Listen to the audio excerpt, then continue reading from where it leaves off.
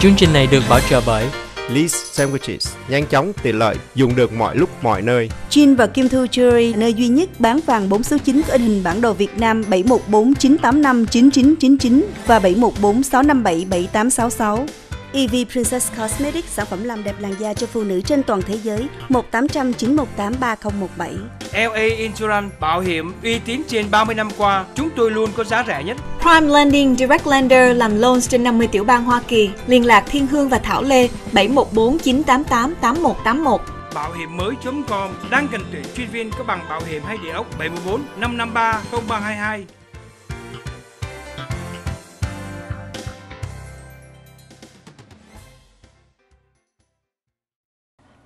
Kính thưa quý vị, sáng nay thì chúng tôi đã dành nhiều thời giờ để gửi đến quý vị tất cả những sự kiện đang xảy ra tại Hoa Kỳ qua lời tuyên bố của Tổng thống Donald Trump. Và đến bây giờ thì chúng ta cũng không thể nào không nói đến cái travel ban, Tuy nhiên là một trong những cái lệnh mà tối cao pháp viện đã chấp thuận để lại cho Tổng thống Donald Trump được những cái quyền thi hành. Nhưng mà trong cái thời gian ngắn gần tới đây thì cái lệnh đó hết còn hiệu lực sau khi sử dụng cho tất cả 90 ngày và 120 ngày có những người tị nạn ở những cái quốc gia đó chờ đến định cư tại Hoa Kỳ. Thế hôm qua cái bản thông cáo mới chính thức từ White House đưa ra thì cái travel ban mới sẽ có hiệu quả và cái ý nghĩa của travel ban mới gồm như thế nào thưa Nhi Huyền?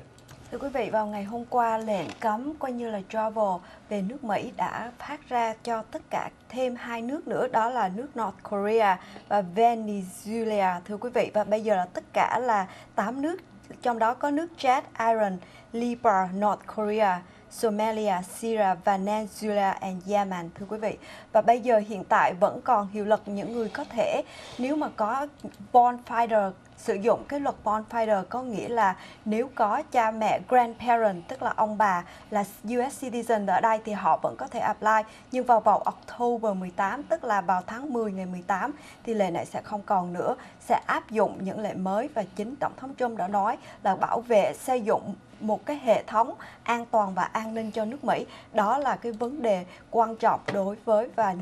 cái ông rất là coi như là honor tức là hiện thực để thực thi thật cái cái uh, lệnh này. Cái lệnh cấm này dạ. Dạ. Vâng, kính thưa quý vị, đây là một trong những cái vấn đề mà Nhà Trắng đã đưa ra. Đây là một trong những cái bước quan trọng hướng tới việc thiết lập một hệ thống nhập cư nhằm bảo vệ an ninh và chính an ninh cho những người Mỹ trong kỷ nguyên mà có thể nói rằng khủng bố đã gây ra nhiều nguy hiểm tệ hại và tội phạm thường xuyên cùng tấn công quốc gia này.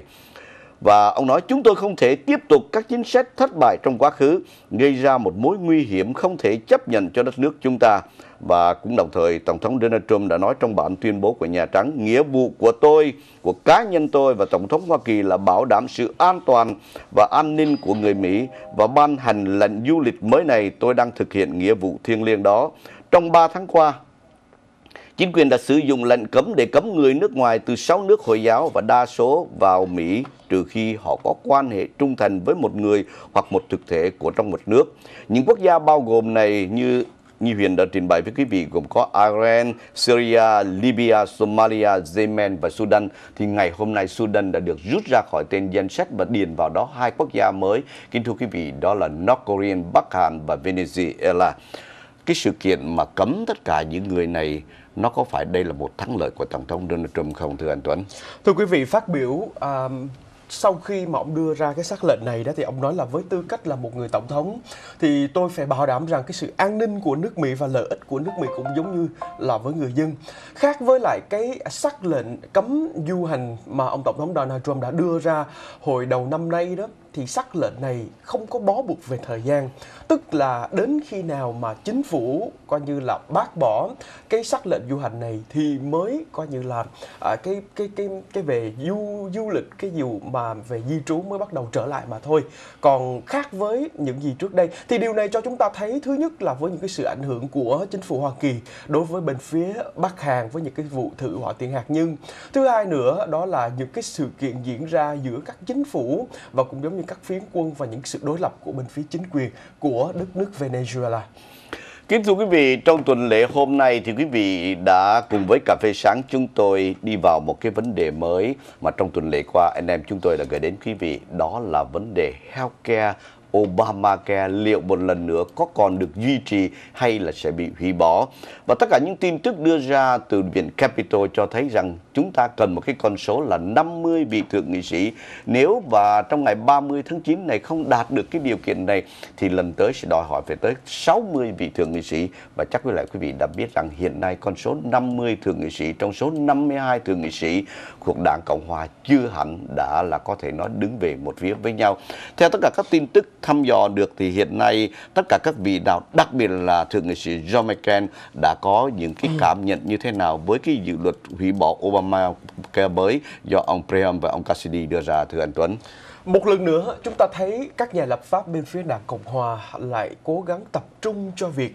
bãi bỏ và thay thế Obamacare bởi một cái dự luật về sức khỏe mới. Tuy nhiên, ngay lập tức đã gặp sự bác bỏ của ông thượng nghị sĩ đại diện cho bên phía tiểu bang Arizona đó là ông John McCain. Ông nói rằng tôi chống đối lại việc bác bỏ đi gói bảo hiểm Obamacare. Như vậy, trong tổng số 52 chiếc ghế, 52 lá phiếu mà bên phía đảng Cộng Hòa đang có chỉ còn 51 và chỉ cần coi như là một lá phiếu nữa thôi thì coi như là bên phía à, đảng Cộng Hòa có thể coi như gặp lung lay trong cái việc à, coi như bài báo Obamacare như thế này. Theo đánh giá của các nhà bình luận đó thì họ nói rằng khác với những lần trước đó thì hiện tại bây giờ đạo luật mà bác bỏ và cũng như là bãi bỏ Obamacare có thể gặp một cái sự khó khăn mới khi liên tục có những các thượng nghị sĩ của các tiểu bang người ta đưa ra những cái ý kiến có thể rằng không ủng hộ. Thưa anh Tuấn, như thượng nghị sĩ Rand Paul, một trong những vị thượng nghị sĩ đã từng bỏ phiếu no trước đây, ông là một trong những vị thượng nghị sĩ đại diện cho tiểu bang Kentucky.